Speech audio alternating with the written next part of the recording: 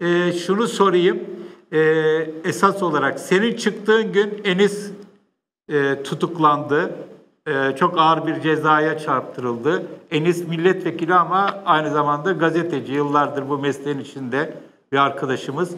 Ne diyorsun? E, bir günde bu iki tane önemli senin taliyen sevindirici Enis'in mahkumiyeti. Nedir bu biz gazetecilerin kaderi? Vallahi bunu dengeliyorlar diye düşünüyorum ben ya.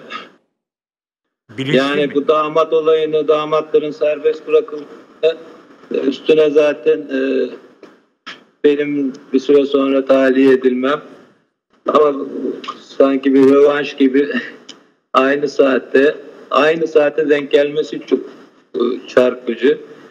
Çünkü ben e, saat bir haberlerini dinledim, üç haberlerini dinledim içeride televizyonda. İddianamem çıktığı için e, mahkemenin vereceği kararı bekliyordum. İthal, burada suçları da böyle olmayan bir suçta da beni tutuklayamayacağını düşünüyordum. Tabii burada ne olacağını bilmiyorsun ama en azından mahkeme günün belli olacak.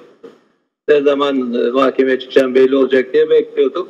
Ama üç haberlerinde de bir şey çıkmayınca ben o bugün de çıkmadı diye e, hücreye çekildim. Kitabımı okuyordum. Saat 4 gibi işte e, infaz memurları mazgada açtılar. Gözün aydın tahliye deyince biz büyük bir sevinç yaşadık dışarıda. Oğuz Uster'de Gökmenoğlu birden içeri girdiler işte. Büyük bir sevinç şeyden hemen televizyonu açtık. Ya televizyonu açar açmaz e, tutukla Berber, Enis Berberoğlu tutuklandığı haberini gördüm. Alt yazı, her taraf e, konuşanlar, şeyler. Biz kendi şeyimizi unuttum ben tabii. Aa, onu konuşmaya başladık. E, benim e, tabii içerideki arkadaşlarım, Cumhuriyet'ten 12 tane arkadaşım içeride. E, avluyu paylaştım. Gündüzleri avluyu paylaştım. Oğuz Usta, her gazeteci arkadaşım Gökmenoğlu e, ikisi onları orada bırakacağım için zaten böyle hüzünlüyüm. Yani utanıyor insan. Biz duyarlı insanlar olduğumuz için bu ya onları orada bırakıp çıkmak. Bu duyguyu yaşarken her şeyi unuttuk. Enis Berberoğlu nasıl yani? Nasıl olur? Bir de ilk gelen haber müebbet dediler. Ya sevinemedik. Her şey kursağımızda kaldı. Sevincimiz kursağımızda kaldı. Çıktık böyle. E, Oğuz anladığım da, kadarıyla kapısında e, anladığım kadarıyla tutuklanmana Anlamadım da hocam. tahliyene de şaşırmışsın. Yanılıyor muyum? Tutuklanmana da tahliye edilmene de şaşırmışsın. Yok. Yani ben sabah eve geldiklerinde 7'de beklediğim için hiç sormadım bile niye gözaltına almıyorum diye. E, zaten uyku sersemiydim. Kalktım. Elimi yüzümü yıkadım. Sonra bir ara geldim. Zaten telefonum kilitlendi. Onunla uğraşıyorum. Arayayım, avukatı arayayım, haber vereyim falan derken. Sonra aklıma gel. Ya dedim niye gel ben? Çünkü içeri de girmiyorlar. Normalde evi ararlar diye gelseniz aramıyor musunuz dedim. Böyle her şey o kadar hazırlıklıyım ki bekliyorum. Yok aramayacağız dedi. Allah ilk ona şaşırdı. Peki niye geldiniz dedim. Ya, ya inanamadım dedim ya bu deyim kamyon biçti deyimi. Dünyanın her yerinde, her dilinde kullanılır.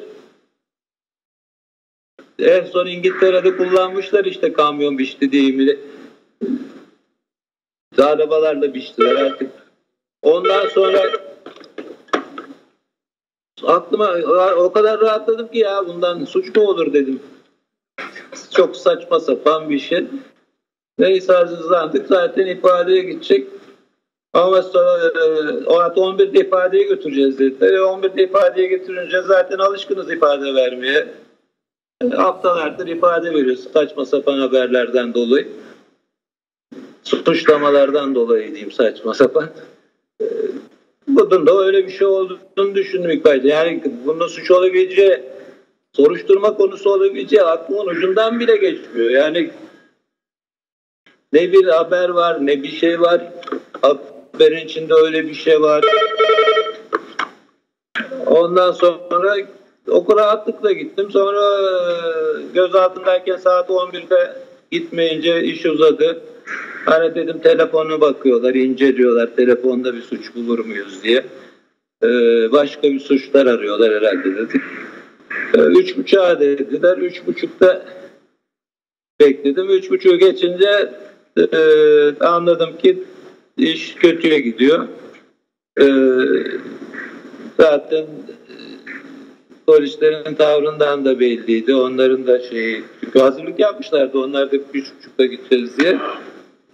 Ondan sonra beni zaten nezarethaneye indirdiler.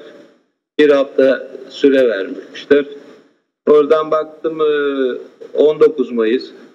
Sürenin bitimi sabah 7.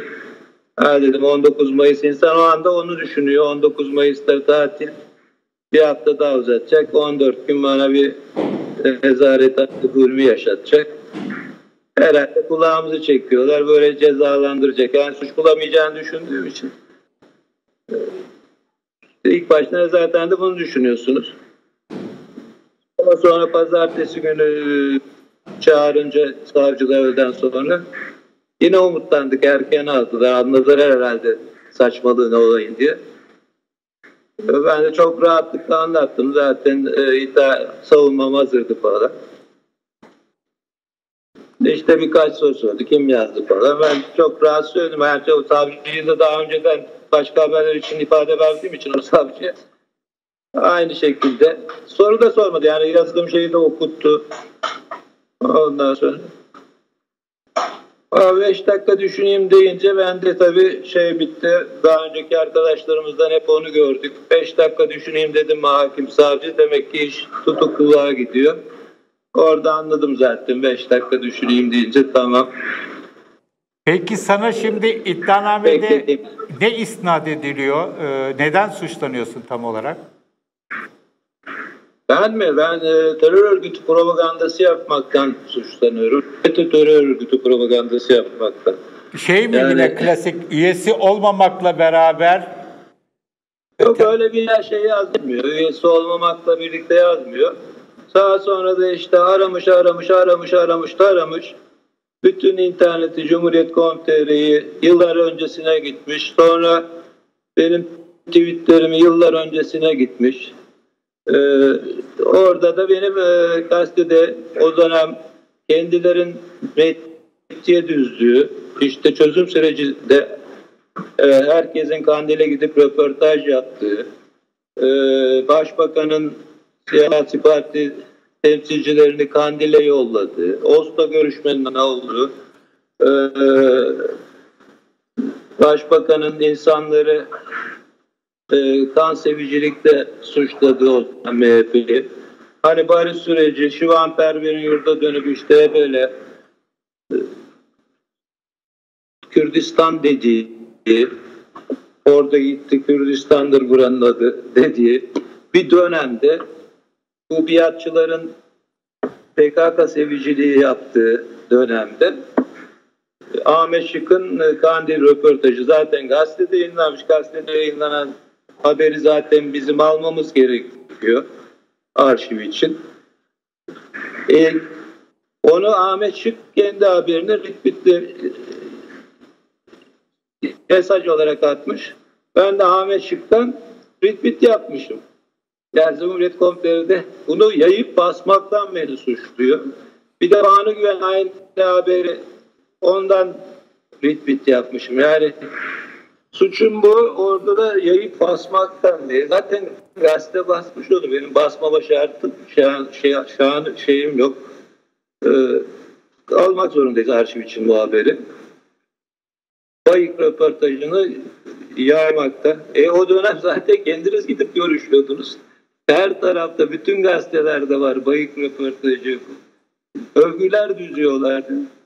Şimdi o biz onu retweet yapmaktan Banu Güven ve Ahmet Şık'ın bizim haberimizi paylaştığı için ben de onları retweet yaptığım için yayıp basmaktan terör örgütü propaganda yapmaktan yargılanacak 14 Eylül'de. Peki e, içeride... E, Suç bu yani başka bir şey yok. E, diğer gazetecilerin ruh hali nasıl? Oradaki tutuklu olan görebildiğin arkadaşlardan, meslektaşlardan e, bir... E, burukluk mu var? Herhalde e, durumlarından şikayetçidirler ama şey olarak umutlular mı? E, Moralleri mi bozuk? Nasıl bir e, atmosfere tanık oldun sen? Ya ben orada kimseyle görüşme şansım yok. Ee, işte ben zaten e, bir süre hücrede kaldım. Tek başımaydım. Ee, sonra aynı avlu açılan bir üçlü hücreye geçtik. Ee, geceleri tek başımızdaydık. Gündüzleri avluda üç kişiydik. Bir Habertürk'ten e, güzel insan Oğuz Üster'le birlikteydik. Sonra bir avukat vardı. Sonra onu yanımızdan aldılar Zeki Demir. E, İşte Gökmen Ulu'yu getirdiler. Bir haftada ben Gökmen'le kaldım. Ee, ya Cumhuriyet'teki arkadaşlarım zaten her hafta e, ben içeri girmeden önce avukatlardan, ailelerinden şeylerini alıyoruz. Zaten vekiller gidiyor, onların umut dolu olduklarını, niçin orada olduklarını biliyorsunuz.